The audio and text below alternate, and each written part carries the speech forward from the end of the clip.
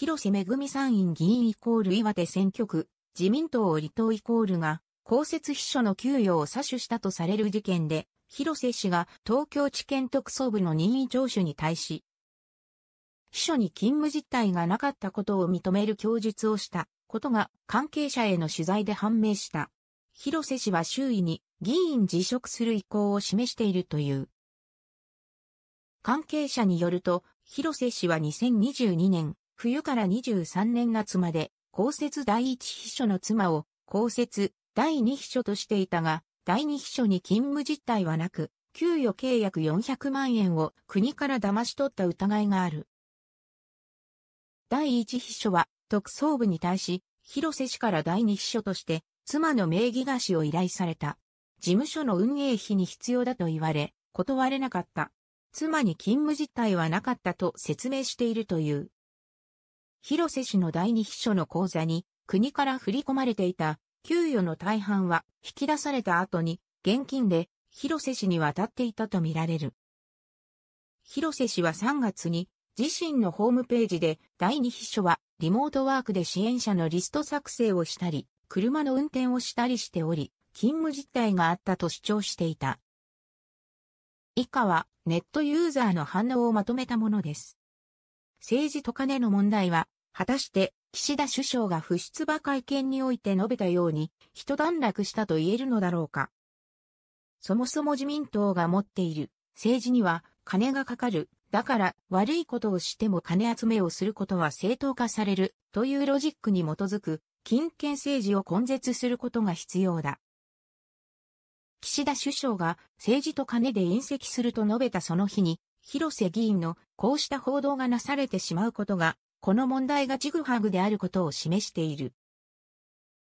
しっかりと新しい総裁、新しい総理には、金権政治と根絶するそうした姿勢を見せてもらうことが必要だ。明らかな詐欺で違法の認識もあって、上場も悪い。証拠も証言も十分で有罪判決のハードルはないも同然。執行猶予だとしても、失職と弁護士資格剥奪は避けらず議員辞職に意味はない。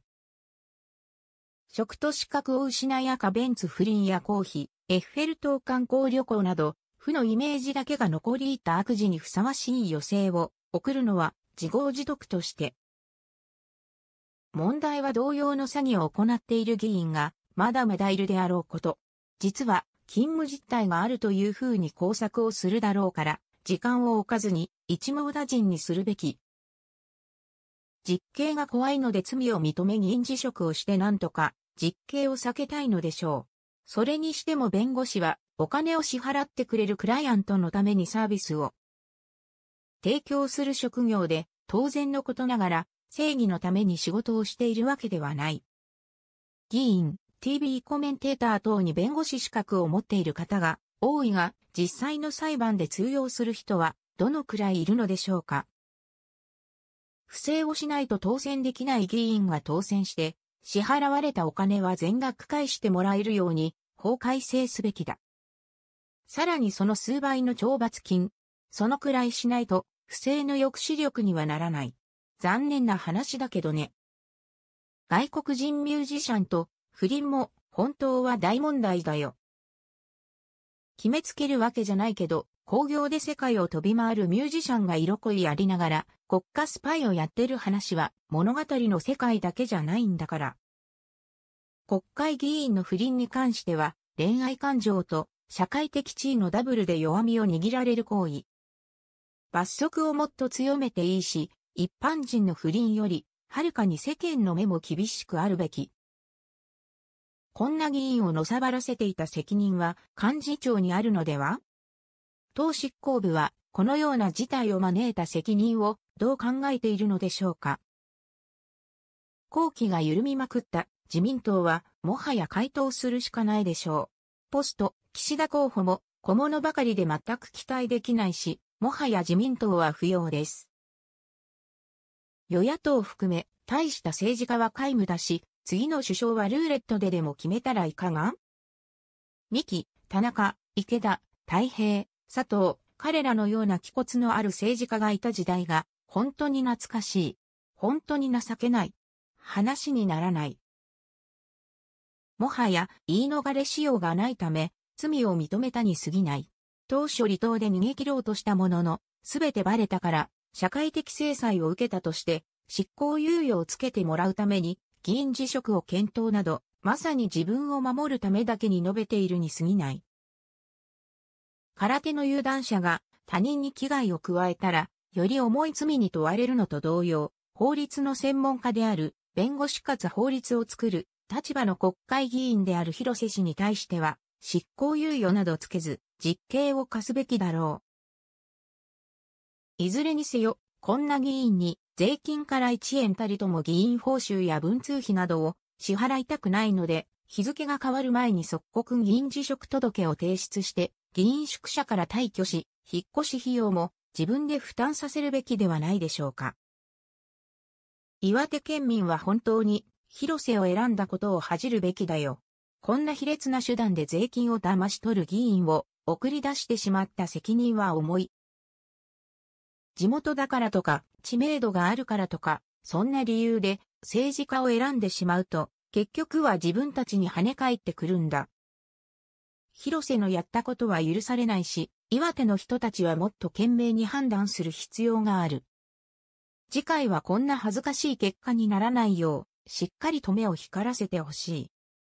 広瀬さんは事実上積んだ。手心を加えてもらう。そんな思惑があるから議員辞職をするのではないか。要するに、逮捕逃れだ。